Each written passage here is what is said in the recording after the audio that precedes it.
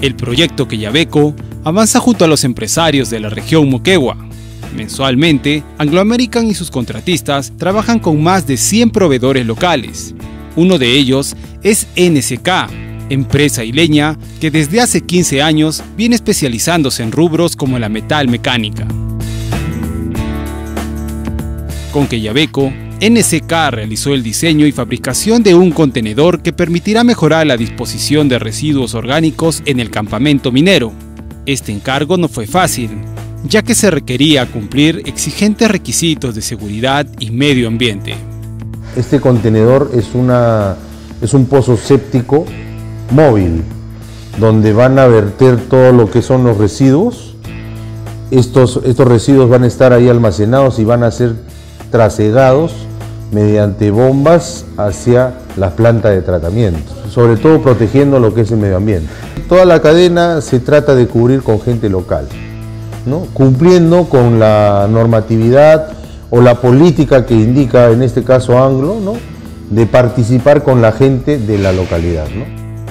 Más de 20 trabajadores de la región Moquegua intervinieron en este proyecto, como Arnulfo Medina, recientemente egresado de la carrera de mecánica eléctrica y que tuvo en este trabajo su primer reto profesional.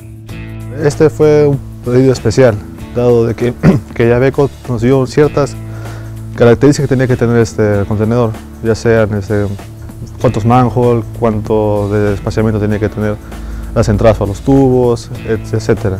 Y todo fue hecho acá, el material se recibió acá en Hilo, planos fueron hechos acá en hilo, el personal técnico estuvo trabajando netamente en el taller, todo fue hecho acá dentro del taller NSK. El contenedor de 12 metros de largo pesa aproximadamente 9 toneladas y fue revestido por dentro con una geomembrana para darle mayor seguridad. Queyabeco apostó por una empresa de la región para este proyecto. Esto es eh, crecer, desarrollar, dar oportunidad a muchos profesionales, eh, a aquellos este, profesionales que recién están saliendo y necesitan dónde desenvolverse, dónde desarrollar.